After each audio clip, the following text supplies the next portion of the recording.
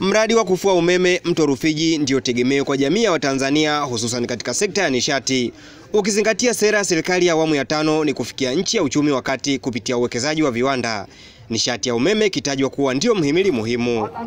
Hatimaye Rais Magufuli ameweka jiwe la msingi katika mradi huo mkubwa wa kufua umeme ambapo kukamilika kwake kutawezesha ongezeko la megawati 2115 za umeme, akisema hatua hiyo ni kudhihirisha uhuru wa maamuzi bila kutegemea misaada ya wafadhili.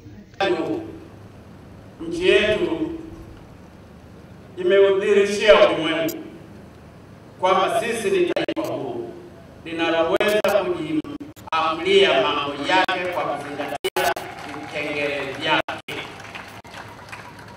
Nyote mnafahamu kuwa mradi huu umekuwa ukikabiliwa na upinzani mkali kutoka ndani na nje ya nchi yetu. Aidha, Rais Magufuli ameagiza viongozi wa mikoa hiyo miwili ya Pwani na Morogoro kushirikiana na wasimamizi wa mradi huo kusimamia ujenzi wa kilomita 60 za barabara katika eneo hilo la mradi kwa kiwango cha rami. Inawezekana nazo zinachukua zaidi ya bilioni 4 au bilioni 5. tukizijumulisha ni karibu bilioni 5.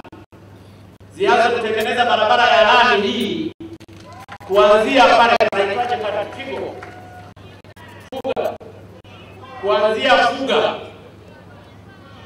ambapo ni kilomita 60 kutoka hapa kwenda Fuga.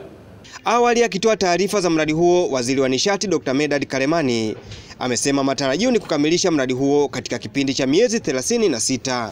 Nataka nikuambia Mheshimiwa Rais, huu ni mradi wa kwanza kusimamiwa na Watanzania wenyewe. Hakuna mradi ambao umesimama peke yake, maana kuna watu wanapenda kusema sisi hatuielewi serikali. Wataielewa tu Mheshimiwa Rais, bunge limekuelewa, wananchi wamekuelewa. Viongozi wa mikoa miwili ya Pwani na Morogoro kunakotekelezwa mradi huo wamesema mbali na faida za umeme wa uhakika, pia mradi huo utasaidia kuondoa changamoto za maafa, uharibifu wa mazingira sambamba na kutoa ajira.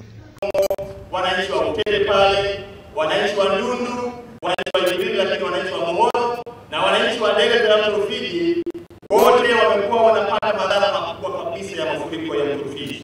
Swala zima la uvuvi, huduma za kijamii ikiwemo afya na umeme, kama ambavyo Mheshimiwa Rais jana umeahidi kutupatia, na ahadi zako Mheshimiwa Rais ni kwa vitendo. Uwekwaji wa jiwe la msingi katika mradi huu mkubwa wa mto Rufiji unarudisha matumaini mapya kwa Watanzania wakiamini katika kipindi cha miezi 36 uliopangwa kutekelezwa mradi huu huenda tatizo la umeme nchini likabaki kuwa historia. Kutoka hapa naitwa Omari hoseni wa Star TV. Bofya kitufe cha subscribe kisha gusa alama ya kengele kupata taarifa za Star TV muda wote wakati wowote.